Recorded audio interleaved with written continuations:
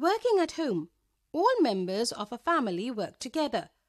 Both parents work together and provide for their children and other members of the family.